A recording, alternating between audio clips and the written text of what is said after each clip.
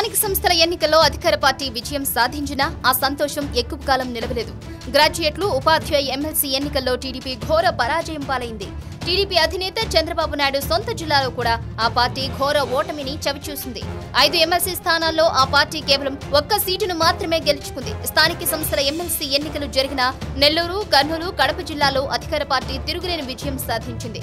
కడప జిల్లాలో సుమారు ముప్పై నాలుగు ఏళ్ళ తర్వాత వైఎస్ కుటుంబాన్ని ఓడించి టీడీపీ విజయం సాధించి చరిత్ర తిరగరాసింది.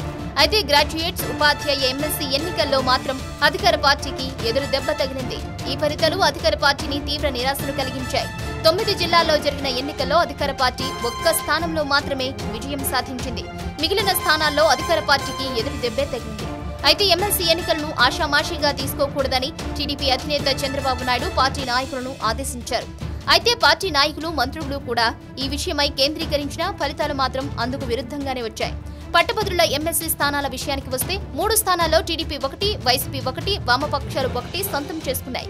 తూర్పు రాయలసీమలో పీడీఎఫ్ అభ్యర్థి ఎండపల్లి శ్రీనివాసులు రెడ్డి గెలుపొందారు. పశ్చిమ రాయలసీమలో వైసీపీ అభ్యర్థి వెన్నపూస గోపాల్ రెడ్డి విజయం సాధించారు.